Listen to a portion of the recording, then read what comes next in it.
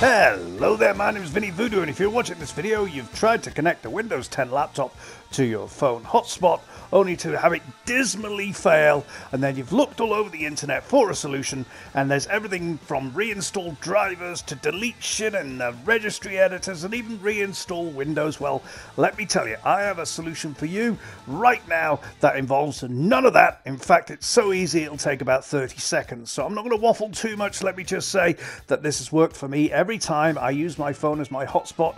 Every single other device I've got connects to my phone's hotspot except the laptop.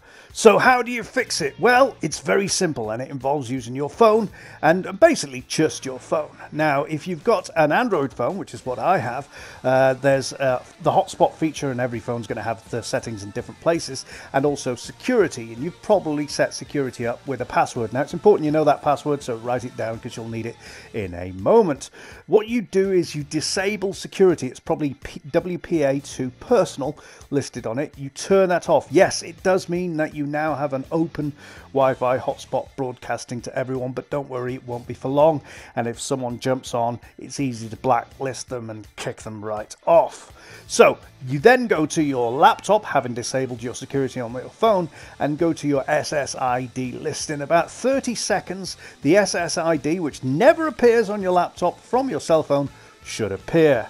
Assuming it does, connect to it. Once connected, it will say connected and then open. And the open is telling you that you're connected to an open Wi Fi. That's okay.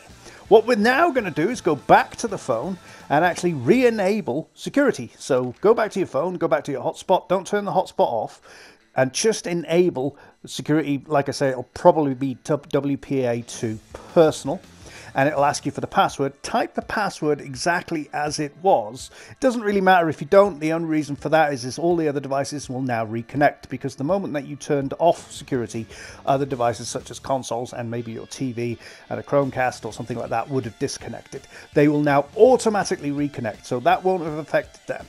Now, your laptop will probably ask for the password at this point. Type it in. You should never have to type that password in on the laptop again, even if it doesn't see your hotspot in future. What I mean by that is that's it.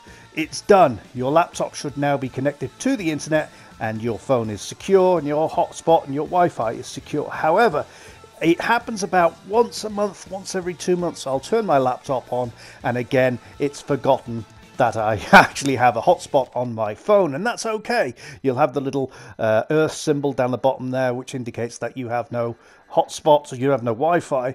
And if you click on that, it won't see the SSID of your phone. Go through the process again, except this time it'll be easier. Uh, you turn off the security of your phone's hotspot.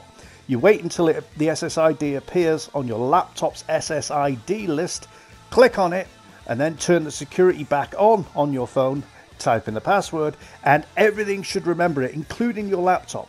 You shouldn't have to type the password again on your laptop. Even if you do, it's a small price to pay for having to reinstall everything. I, I discovered this completely by accident and it works every time. It's not a permanent fix, I guess you could say, because of course um, you do have to do it once in a while. I do it about three times a year, so it's it's not a hardship, and it's a heck of a lot easier than trying to deal with all the stupid advice that's on the internet about reinstalling drivers and so on and so forth. In a nutshell, turn off security, connect to your system, turn on security, type the password back in. It's that simple. But does it work for you? Let me know in the comments and uh, we will uh, take it from there. In the meantime, it leaves me to say that my name is Vynny Voodoo and thanks for watching.